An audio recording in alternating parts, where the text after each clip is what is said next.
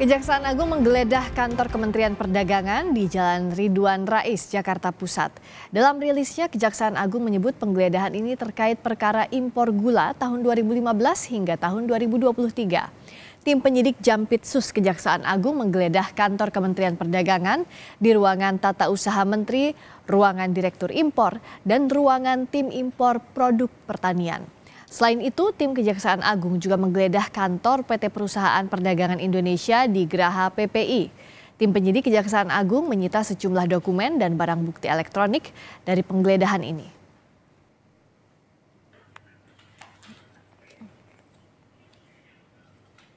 Sementara itu Menteri Perdagangan Zulkifli Hasan mengakui di kementeriannya ada badai alias banyak persoalan jauh sebelum ia menjabat sebagai menteri. Zulkifli Hasan menyebut mendukung penuh proses hukum yang dilakukan oleh Kejaksaan Agung.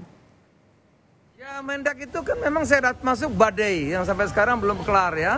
Tapi mudah-mudahan walaupun ada badai yang hampir setahun yang lalu sampai sekarang karena kelar apa urusan minyak lah, minyak goreng, urusan urusan besi, urusan garam, urusan macam-macam ya tentu ini agar kita dukung agar bisa tuntas sehingga yang akan datang bisa berjalan dengan baik.